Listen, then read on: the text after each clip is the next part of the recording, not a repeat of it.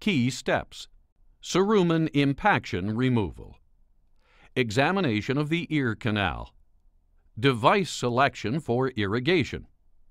Irrigation until cerumen is released. Follow-up examination. To remove impacted cerumen, one can use a pulsating water device which allows for pressurized water flow to enter the ear canal. Inject the water along the side wall of the ear, gently forcing water around the impacted cerumen.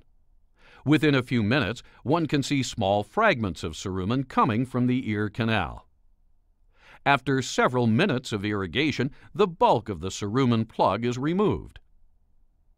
Other device options include using a 20 to 30 cc syringe with a 16 to 20 gauge IV catheter attached to provide directed water flow into the ear canal. Examine the ear after irrigation to ensure that adequate cerumen was removed.